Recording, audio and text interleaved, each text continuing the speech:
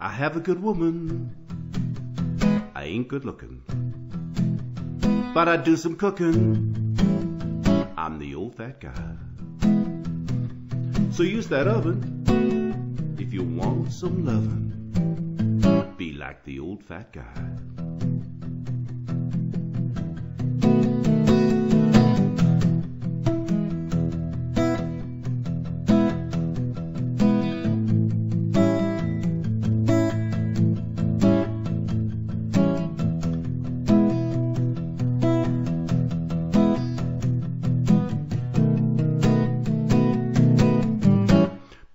Like the old fat guy.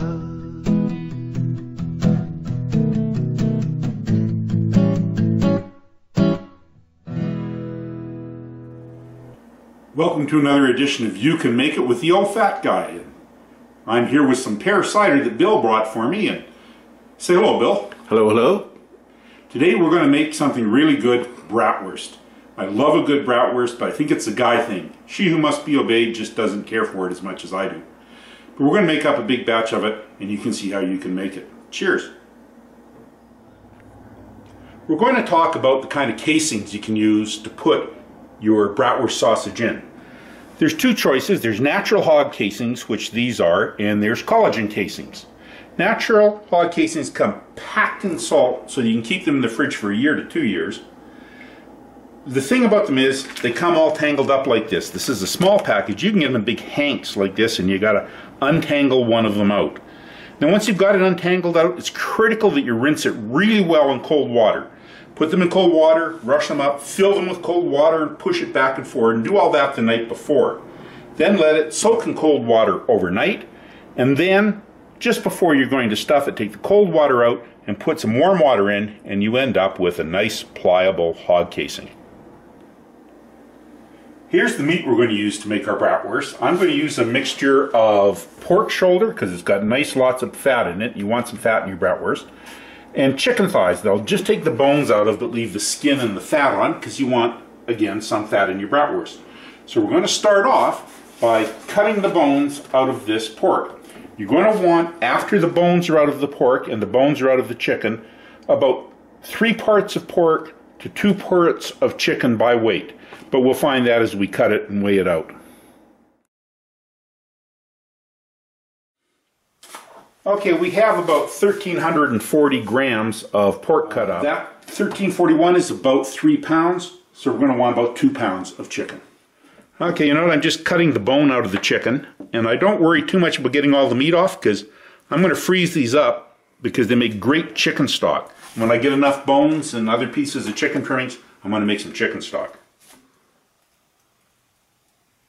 So I did about 1,340 grams of pork, and I've got 865 grams of chicken. That's about three parts pork to two parts chicken, and I can figure out my seasonings to go with that.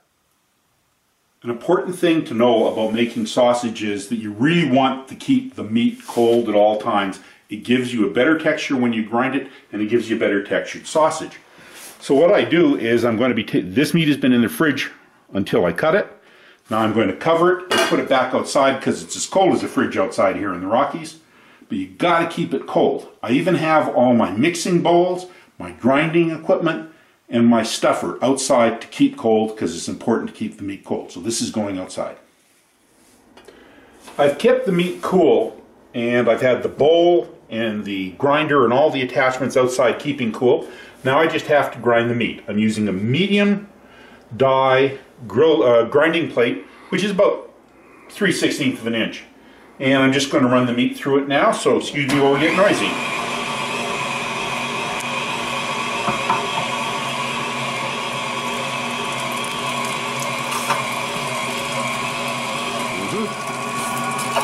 If you don't have a powered grinder like this, you can use one of those old hand grinders like your mother used.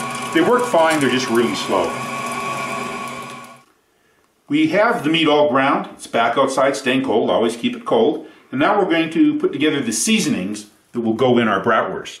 And the seasonings are 30 milliliters or 2 tablespoons of kosher salt, 7 milliliters or a teaspoon and a half of sugar, 10 milliliters or 2 teaspoons of coarse ground pepper, 10 milliliters or 2 teaspoons of nutmeg, 5 milliliters or a teaspoon of marjoram, 5 milliliters of ginger or a teaspoon of ginger, and 10 milliliters or 2 teaspoons of mace.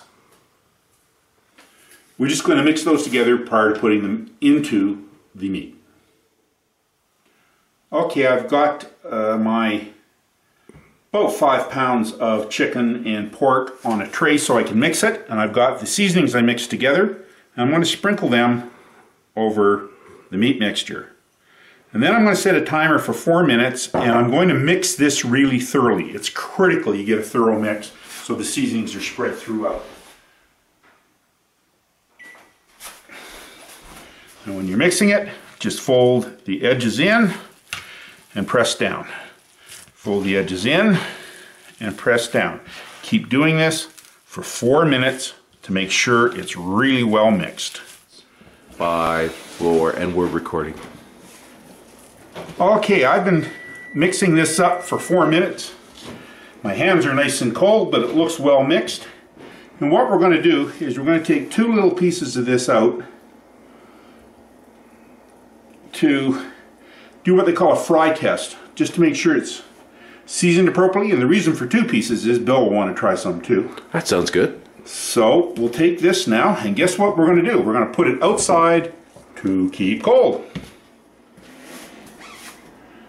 Time for our fry test. We've got a fry pan heated up here. We'll just press these out thin so they cook quickly and throw them in the fry pan. Make sure they cook through. We fried up our test fry and we'll just cut in the middle, make sure it's cooked all the way through, nice all the way through. And we'll just throw these on a plate and cut them up into bite-sized pieces. Turn off the heat and we'll have a taste of our taste test right after I pick up the spatula. Ah. Okay, Bill, want me to feed you? Oh, sure. Why not? Thank you. Mmm. Good? Mm-hmm. That's a bratwurst. This is my LEM sausage stuffer. It'll take up to three pounds of meat, so I'll have to do a couple of batches. You can use your KitchenAid. It does have a sausage stuffer attachment, but it is worse than chewing tinfoil to try and stuff a bratwurst or any other sausage with the KitchenAid. So I bought this. It's a really great piece of equipment, and it makes it much easier. And what you do is you start off by taking your casings out of the water. Try and squeeze as much of the water out as you take them out. And then put them on the counter next to your stuffer. Now you're going to get the casings on the horn here, which means you got to find the opening in the end, and that can be a little fussy sometimes. Just get your finger and mess it around. There's the hole there. And then you want to take the hole and just start it over the horn. And then, as much as you can, hold the casing straight and just keep pulling the casing onto the horn until it's all on. We have most of the casings on. When you've got just a couple of inches left, you want to tie a knot in the end because it's going to stop the sausage from squirting out the end if you do. Hopefully you're better at tying a knot than I am. There we go. Two knots? One knot? One knot's fine, just need an overhand knot. And then slide it all the way up onto there. Now, I'm going to get the meat outside from chilling and put it in the hopper. I've taken the meat in from outside, I'm going to put about half of it into the hopper here. Remember, this is only a three pound stuffer, so you don't want to go over that. Even though it looks like it'll take more. There we go. And we put it in, and we put our stuffer together. And we start cranking this down. There it goes. You don't want to stuff it too full.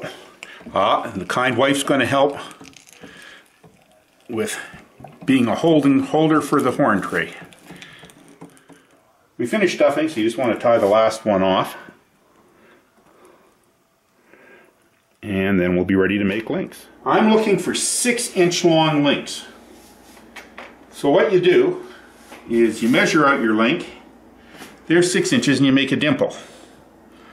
And a little bit of a blowout there, so we'll be careful with this one. Just twist it by hand. Now, then what you want to do is go down and make another mark at 6 in inches and a mark at the end of 6 inches. And then just pinch that off and spin it starting away from you. And then measure 6 inches and 6 inches away from you. Pinch that one off and spin it towards you. Eat bratwurst do you want for dinner? Uh, um, Two. you, th- you think I could eat three? I don't know, you're two. the- Two seems much more likely. Okay, two for you. And one for me. So when you uh, cut them, they don't fall apart. No. If you twisted them enough. Okay, we're going to start cooking the bratwurst just so we can taste them. And I started by firing my barbecue up, and all grills tend to need to heat up for 10 minutes. So what I've done is I just put a cast iron fry pan on there with a tablespoon and a half of olive oil in it. We're going to let it heat up while the grill heats up. We're going to cook our bratwurst in the traditional way, which means poaching them in beer. So we're going to start off putting them in a saucepan. Pour a beer over the top of them. I got a nice dark Modelo Negro now, which I love. Nice Mexican beer.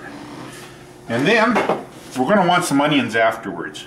So we're just going to take about a half a cup of onions for the three bratwurst we're doing and put them in there. And then you want to put them over high heat until it comes to a boil. And then we're going to simmer them for another eight minutes. So, you can see that the frying pan's heated up and smoke's coming off the oil, which is what we want. And we got the bratwurst. So we're going to take the bratwurst, and this is on a quite high grill, because we want them to brown up, and we'll throw them on there. And then we're going to take the onions and put them in the fry pan. That was definitely hot. Oh yeah. Now the trick with the onions is you don't want them to blacken. You just want a bit of caramelization. And you'll see they'll get color quite quickly because we heated the pan up first. What you're looking for in your bratwurst is to just get a little bit of browning on it because you get that nice Maillard effect from the charring. And my buddy Bill likes his buns toasted, so we're just going to throw a couple of buttered buns on the grill just for a second to toast them up for him. Well, a little more in a second. Well, we'll see. Well, Bill, here's our bratwurst. We'll give it a try. Oh, definitely. Okay. Mmm. Oh, wonderful. Really good. And you can make it. When dinner time gets near and your wife has made it clear You can pick it, you can pick it. it's your turn to cook, my dear. You can make you can pick it. You have no need to fear. You can pick it, you can pick it. Make the dinner feed your spouse, bring peace into your house. You can make it. If you're lucky, she will say, You can make it, you can make it. and life will be okay. Life will be okay. You can make it.